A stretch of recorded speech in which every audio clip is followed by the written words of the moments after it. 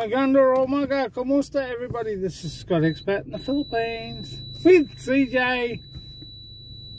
I'm dropping CJ off at Ronalyn's and Steve's place. Yeah, and that- Jack. And Jack's, yes. I want to go to Jack's house. Yeah, CJ's going to Jack's house. And I'm going straight back into the hospital because Arlene's in there. And. Yeah, mummy's hurting here in chest, as CJ says. So, we're going to, uh, I'm going to do that. Wow, nice car. Nice four-wheel drive with big light on it, yeah. Ooh, it's one of that. Oh, so we're going in there to do that, and um, yeah, uh, I don't know what she at the moment. We went in at four o'clock this morning, and uh, at that time it was four to six hour wait for people, and then she got seen around about six thirty, I think it was and uh 6.30 or 7.30 one of the two yeah. excuse me because i'm a bit thingy uh but i'm all right guys i'm all right i'm all right no drama. Um but uh yeah so she had some blood tests and then uh we had to wait for the blood tests to go through and then uh she's got a bed uh, but they will ring me and let me know um, when she'll be okay to go and pick up. But I'm going to drop CJ at Stephen Ronalyn's place. Thank you, Stephen Ronalyn. Much appreciated. And then I'm going to head back into the hos- hospital, pick up Arlene. So we've been in there from since um, 4.30 this morning. But she's in good spirits, but she's a bit thing. I'm more worried about her than um,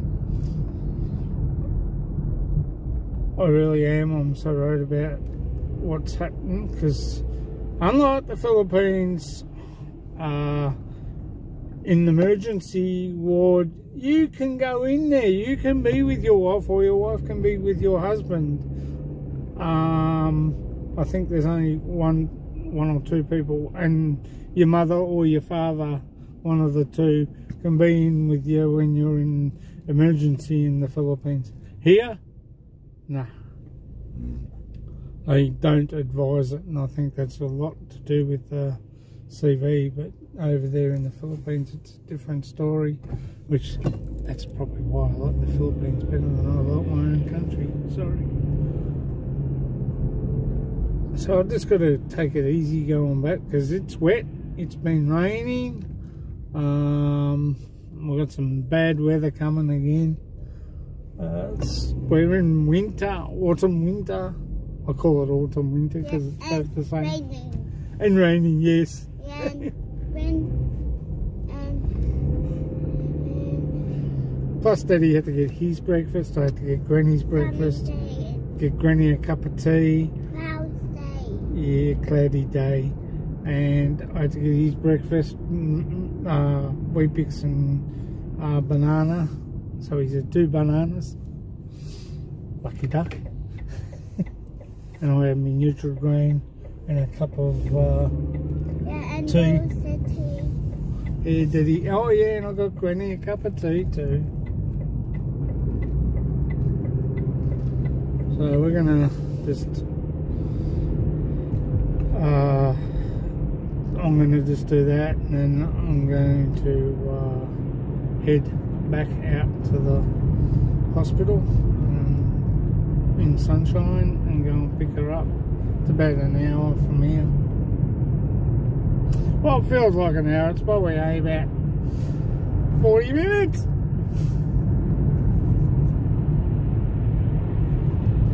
It's one of those things, unfortunately, guys, that just crop up. Anyway, we'll be back later.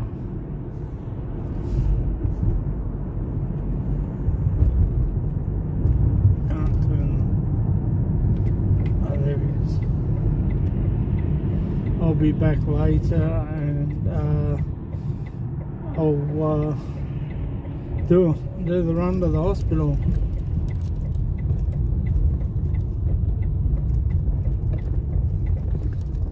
Maybe if I back into Steve's drive, might be easier.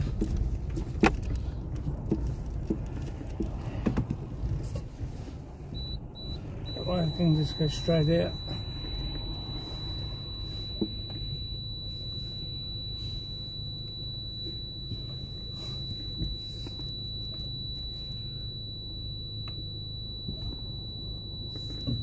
There we go. Here. Here we're here. Back soon, guys. Hey, man, up on Kamusta, everybody. I just went in to check and see about Arlene and see how she is. She's okay. She's in um, ICU. Uh, they did some chest x-rays to find out where this piece of shellfish is from the prawn. Uh, so, um, yeah, uh, they basically gave me their um, times and uh, their phone number so I know um, um, what's going on. Um, and they said that they will let her know that I rang and I spoke to her text message because she was asleep before and got all that sorted out. So we just gotta wait. I'm going around to see CJ see how he is see how they're playing together. And um, popping back to see Steve and and um, sit there and wait until Arlene rings me to go and pick her up we'll be back later guys just giving you an update but she's all right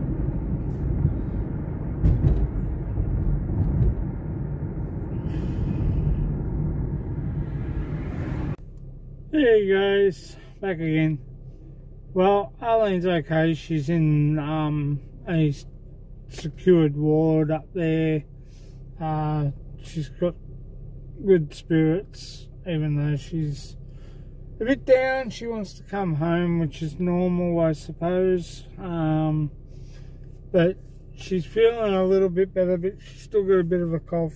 They're going to keep her in there uh, till probably Tuesday. So, anyway, we're going to head off home. That's the emergency ward. Just there. Tomorrow I have to park in the general normal car park. Yeah! And pay. here I didn't have to. But you can't uh, sit here all the time, so I suppose when you look at it, um, lucky to do that. I'll be able to park there and sign in and then go out. I didn't even get fined, which was good. So we'll head off home now. We'll go this way. Stuff going that way through St Albans. It's too far. It's called the Joan Kirner Hospital now. It's not the, the Sunshine Hospital. She used to be a premier uh, for our uh, state years ago.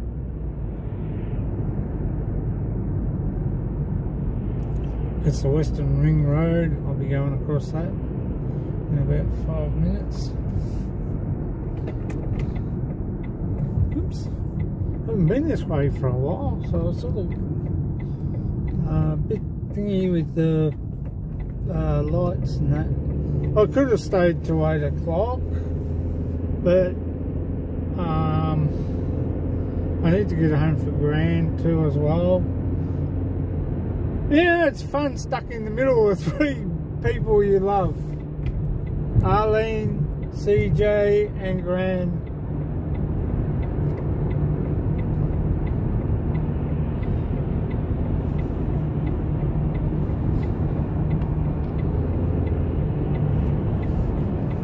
Very hard.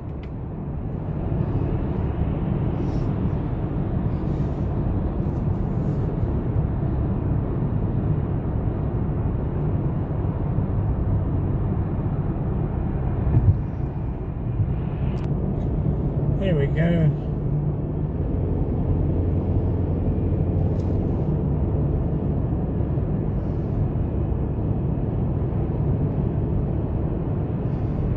Going over the old E.J. Whitten Bridge now. Into my left hand lane.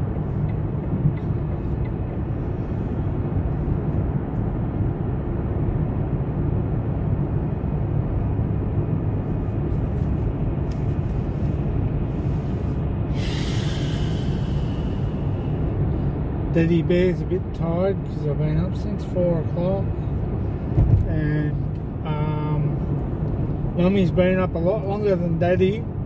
Um, she's been up since yesterday. And um,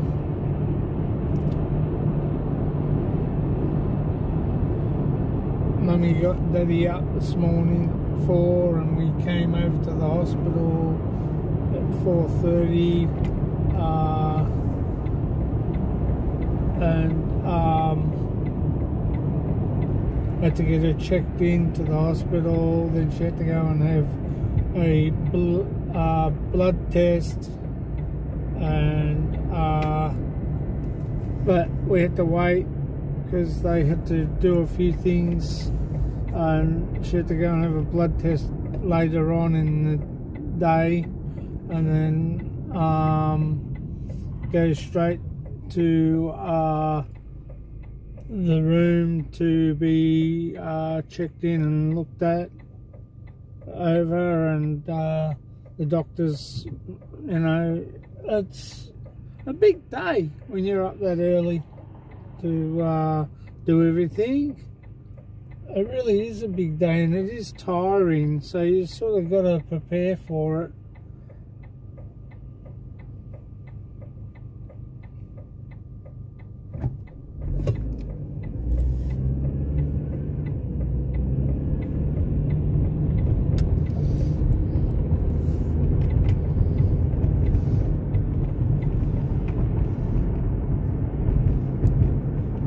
traffic's quiet. That's Springbank Park over there on the left. That's where it's so dark.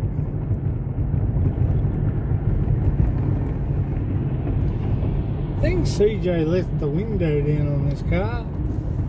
Can hear the wind.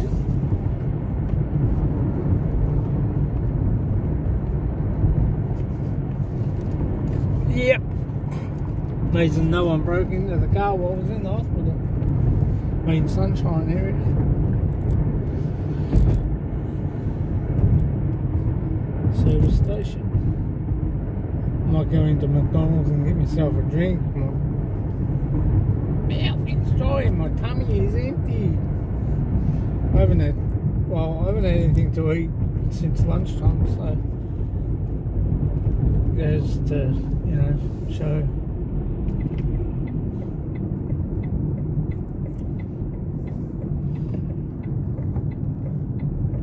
Uh, what Arlene's got, I don't know.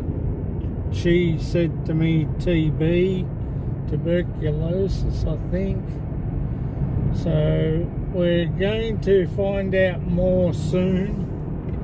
Um,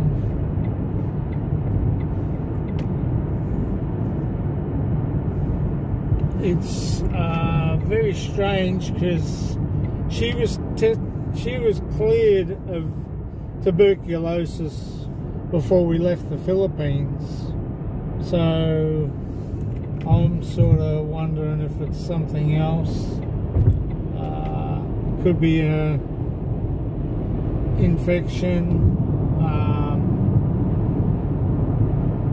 in the chest. A chest infection that's opened up a bit and they want to clear it. I do remember she, um, Arlene, was uh, coughing earlier. Yes, that's the moon on my top uh, left there in front of you. Um, yeah, so um, it's a bit, uh, you know,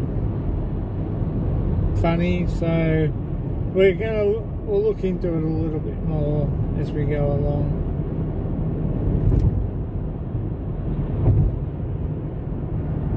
But I'm uh, I'm more upset for her because um, know it's the first time we're uh, away together and you know CJ the three of us Here's it, Steve and Ronalyn's. Thank you guys. Thank you, Steve. Thank you, Ronalyn. We really do appreciate it uh, for helping us. Ronalyn also has her own channel too as well. Ronalyn Siloan. Um, check it out, guys. Um, they've been good friends to us since um,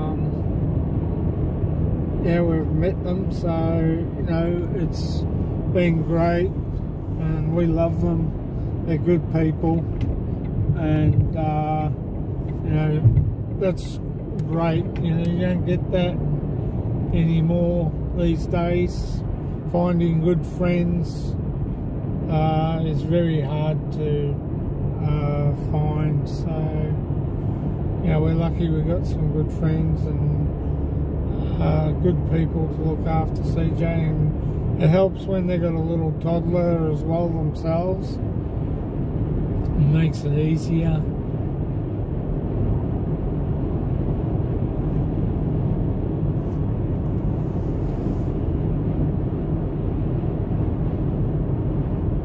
Boy this road's dark of a night time gotta watch myself here too because sometimes you get the odd kangaroo come out from the right over in the paddocks in the right there over near the Organ Pipes National Parks. They sometimes bounce across here. Not very often though. But you do have to keep your eyes above on the road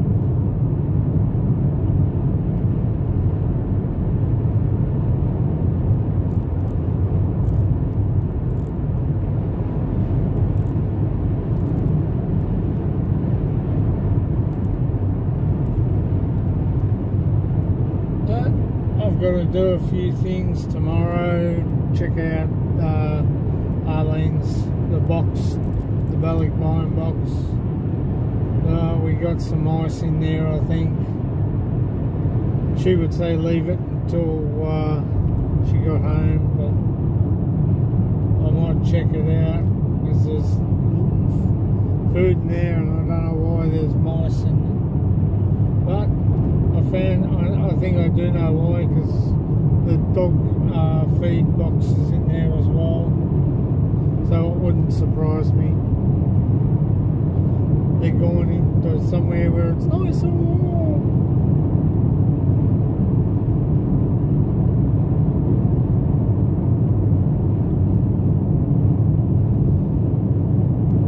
And not just because I'm coming home early. Uh, know, it's a lot better if you come home, leave a little bit early, because um, the traffic's not as bad. Today's been hectic. Ooh. I've had a hectic day.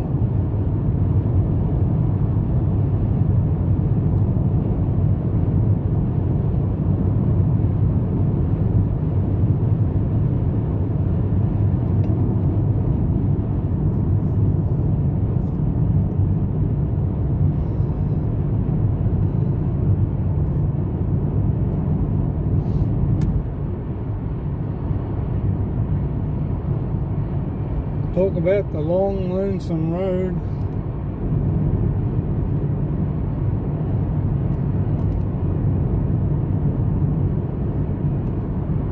but I've got the car in front of me, I've got a car, some cars behind me, so, and cars across the road.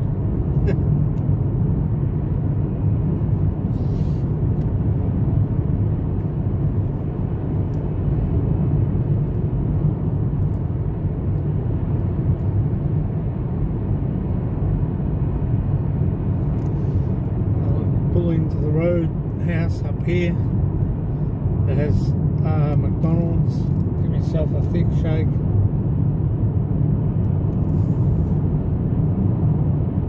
Probably small chips. Something to nibble on before I get home.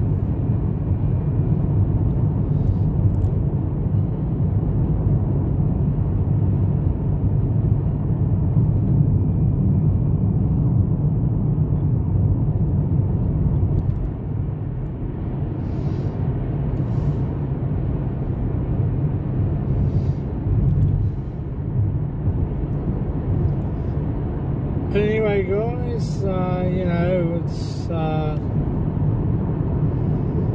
pretty, said, pretty hectic, and um, especially getting up and for and taking Arlene into the hospital and getting her checked in, and then sitting there waiting for someone to come and get her, and then going out because I couldn't go up unlike the Philippines where, oh yes, you can come. Because now that's one good thing about the Philippines.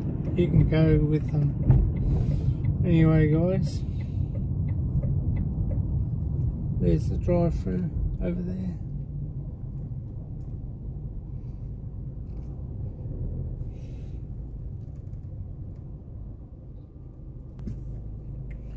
We'll catch you later. Take care enjoy and remember life's good. Bye for now. This has been Scott Expat in the Philippines. See you later.